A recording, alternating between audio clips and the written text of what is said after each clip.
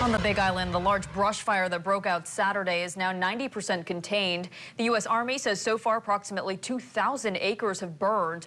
Pohakuloa Training Area, the Hawaii Fire Department, the 25th Combat Aviation Brigade, and the Department of Forestry and Wildlife are all working together to put out this fire. A portion of Old Saddle Road between the Daniel K. Highway and the Highway 190 junctions remain closed.